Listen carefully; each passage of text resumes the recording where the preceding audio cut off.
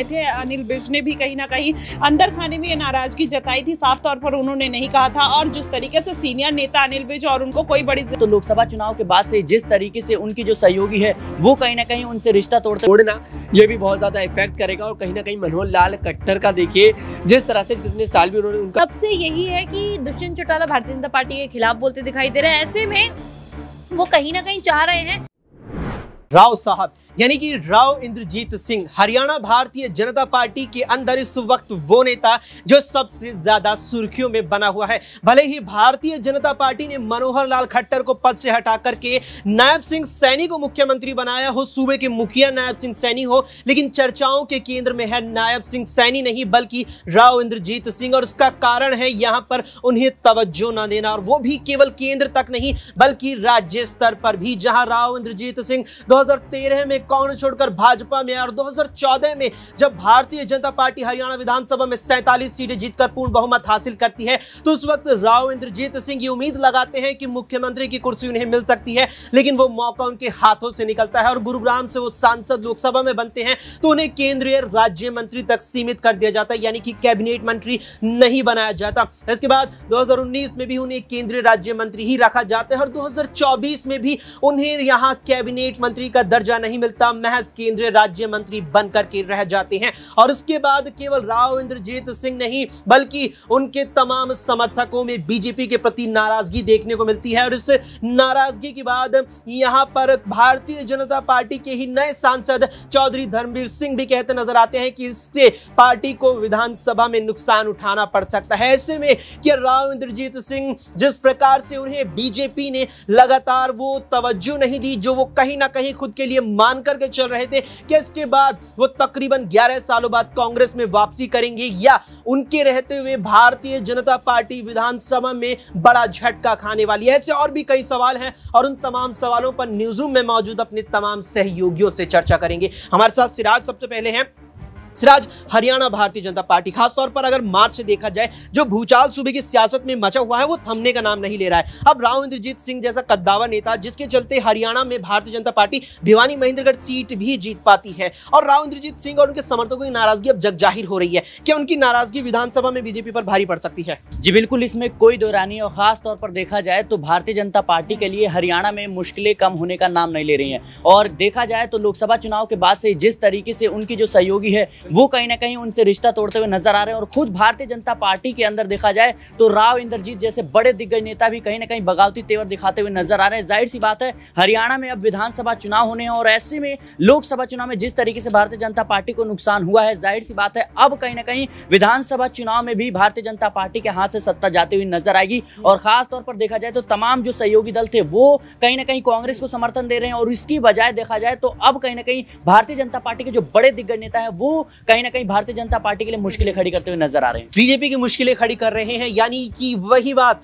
जो विपक्ष अब लगातार कह रहा है कि लोकसभा में बीजेपी हरियाणा में हाफ़ हो गई है और अब विधानसभा में साफ़ हो जाएगी। तनुज विपक्ष लगातार कह रहा है कि विधानसभा में साफ़ होने वाली है क्योंकि लोकसभा में हाफ़ हो चुकी है। क्या लगता है बीजेपी इस बार विधानसभा में हाफ़ होगी? और अगर हाँ तो यहाँ क्या वो प्रमुख कारण हो सकते हैं? देखिए सबसे बड़ा प्रमुख कारण यहाँ पर किसान आंदोलन जो देखा गया वो माना जाएगा महिला पहलवानों के साथ। जिस तरह से भारतीय जनता पार्टी के दिग्गज नेता ब्रजभूषण शरण सिंह पर गंभीर आरोप लगे। यही सारे वो मामले हैं जो हरियाणा की जनता देखिए, यहाँ पर भारतीय जनता पार्टी से नाराज़ है। देखिए, हरियाणा में सबसे ज़्यादा किसान देखे पाए जाते हैं और यहाँ पर जो किसान है, वो आज भी भारतीय जनता पार्टी से नाराज़ है क्योंकि यहाँ पर किसानों का मानना है कि बीजेपी पार्टी ने यहाँ पर किसानों के हित में कुछ नहीं करा। दुष्यंत चौटाला का भारतीय जनता पार्टी के साथ जो गठबंधन था, वो छोड़ना ये भी बहुत ज़्यादा इफ़ेक्ट करेगा और कहीं ना कहीं मनोहर लाल खट्टर का देखिए, जिस तरह से जितने साल भी उन्होंने उनका कार्यकाल देखे, यहाँ पर रहा पूरा नहीं हो पाया। और यहाँ पर जिस तरह से मनोहर लाल खट्टर को लेकर बड़े सवाल खड़े होते हैं कि देखिए, नौकरी नहीं दी गई, बेरोजगारी बड़ा मुद्दा था, महँगाई बड़ा मुद्दा था, और यहाँ पर किसान आंदोलन मैंने शुरू में बता दिया तो कहीं ना कहीं मनोहर लाल की जो सरकार थी वो गिरती नज़र आई, और फिर यहाँ पर सरकार बनी नायाब सैनी की चर्चा भी ये भी है कि भाई नायाब सैनी की सरकार को लेकर भी कहीं ना कहीं विपक्ष बार बार यहाँ पर प्रयास करता नज़र आ रहा है कि ये सरकार गिर जाए, लेकिन इस बार ये बात सच है कि विपक्ष का जो दावा है, अक्षय, वो सही है कि भाई इस बार जैसे लोकसभा में ये हाफ़ हो चुकी है भारतीय जनता पार्टी। वो इस बार विधानसभा चुनाव में भी हो जाएगी। आप पिछली बार देखिए 2019 में 10 में से 10 सीटें यहाँ पर लोकसभा में भारतीय जनता पार्टी ने जीती थी, लेकिन इस बार पाँच सीटों पर सिमट जाती है। इसमें साफ़ पता लगता है कि इस बार हरियाणा के अंदर भारतीय जनता पार्टी की स्थिति बेहद ज़्यादा खराब है। बेहद नाजुक स्थिति है और यही कारण है कि लोकसभा में भारतीय जनता पार्टी को तो पाँच सीटों का नुकसान हुआ, जबकि कांग्रेस को पाँच सीटों का इजाफा हुआ है। यहाँ पर यानी कुल मिलाकर अगर देखा जाए तो राहें अब की बार सत्ता तक पहुँचने की भारतीय जनता पार्टी की कतई भी आसान नहीं है। माही है हमारे साथ। माही कई ऐसे मुद्दे हैं और उस सबके बीच निकल कर के आती है? दिग्गजों की नाराज़गी। अनिल चर्चाओं में रहे राव इंद्रजीत सिंह चर्चाओं में रहे, प्रोफेसर रामविलास शर्मा चर्चाओं में रहे, कई बड़े नाम है। क्या ये दिग्गजों की नाराज़गी बीजेपी पर इस साल विधानसभा में भारी पड़ सकती है। जी बिल्कुल। देखिए ज़ाहिर तौर पर क्योंकि भारतीय जनता पार्टी जिस तरीके से हरियाणा में फंसती हुई नज़र आ रही है और सबसे ज़्यादा जो बड़ा मुद्दा था किसानों का मुद्दा।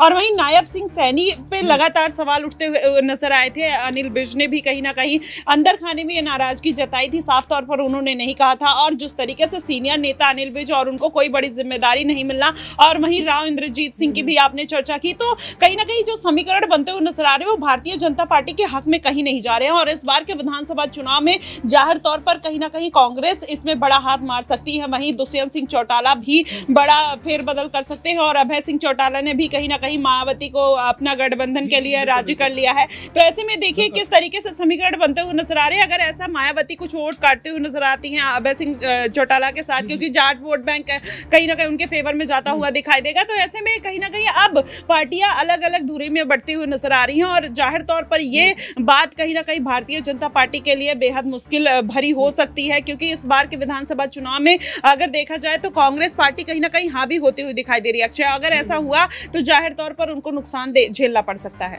नुकसान झेलना पड़ सकता है। और अब जब बात यहाँ चौटाला की आ चुकी है तो दुष्यंत चौटाला और फिर जेजेपी पर चर्चा क्यों ना हो? मार्च में ही यहाँ गठबंधन भारतीय जनता पार्टी से टूटा था। सूबे की दो लोकसभा सीटों को लेकर के शानी यहाँ दुष्यंत चौटाला, जेजेपी की बात आ चुकी है। और दुष्यंत चौटाला कहते भी नज़र आए थे कि ज़रूरत पड़ने पर कांग्रेस को समर्थन देंगे। लेकिन बीते यहाँ मंगलवार को बयान आता है भूपेंद्र सिंह हुडा का, कहते हैं कि आखिर कहाँ है दुष्यंत पर दस विधायक? जरा दिखा तो दे वे दस विधायक। यानी कि दुष्यंत यहाँ तैयार है समर्थन देने को, लेकिन हुड्डा यहाँ इस पक्ष में इस नज़र नहीं आ रहे हैं कि वो समर्थन ले। क्या दुष्यंत का समर्थन देना कांग्रेस के लिए और भारतीय जनता पार्टी के लिए यहाँ बीजेपी पर भारी पड़ेगा कांग्रेस के समर्थन में?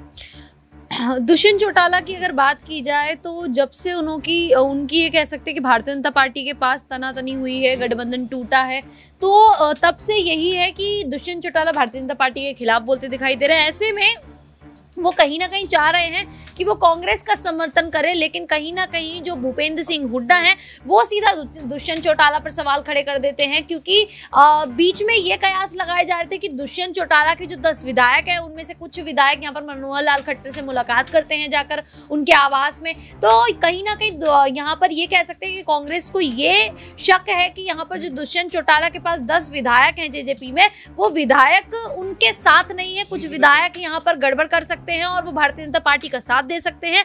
ऐसे में कांग्रेस की ओर से ये दावा किया जा रहा है दुष्यंत चौटाला पूरा समर्थन देना चाह रहे हैं। इसके बावजूद भी अगर भूपेंद्र सिंह हुड्डा इसी तरीके से दुष्यंत चौटाला पे आरोप लगाते रहे तो एक समय आएगा कि यह दुष्यंत चौटाला कांग्रेस का समर्थन करने से भी साफ़ इनकार कर देंगे। बिल्कुल, यहाँ पर अगर ऐसी स्थिति रही तो दुष्यंत चौटाला जब कहते नज़र आ रहे हैं कि समर्थन हम भारतीय जनता पार्टी से इतर हटके अब कांग्रेस का करेंगे तो वो इससे भी इनकार कर देंगे। लेकिन अब यहाँ पर विधानसभा चुनावों की उल्टी गिनती शुरू हो चुकी है 2014 में, जब मोदी लहर यहाँ प्रचंड रूप से नज़र आ रही थी, खासतौर पर उत्तर भारत के प्रमुख राज्यों में इसी के चलते प्रदेश में आठ लोकसभा सीटें भारतीय जनता पार्टी ने जीती और उसी साल हुए प्रदेश के विधानसभा चुनावों में सैंतालीस सीटें जीतकर पहली बार हरियाणा में बीजेपी ने बहुमत हासिल किया। और फिर 2019 में बहुमत से विधानसभा में ज़रूर चुकी, लेकिन जेजेपी और कुछ निर्दलीय विधायकों के साथ मिलकर सत्ता तक पहुँचने में कामयाब रही थी। लेकिन क्या अब की बार भारतीय जनता पार्टी को हरियाणा में बड़ा झटका लगने वाला है क्या बीजेपी अब की बार सत्ता से रुखसत होने वाली है? या